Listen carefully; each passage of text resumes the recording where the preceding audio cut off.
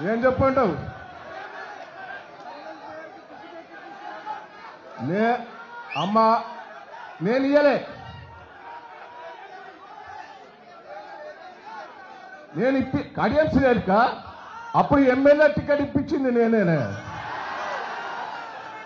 ఇంకో ఇంకోటి కూడా చెప్తున్నా. నేను ఎన్టీ రామారావు గారు కడియం శ్రీహరికి ఎమ్మెల్యే టికెట్ ఇప్పుడు ఇష్టం లేదు. వాస్తవంగా నేనే బత్రాడి ఎన్టీ రామారావు గారికి టికెట్ ఇప్పించింది నేనే.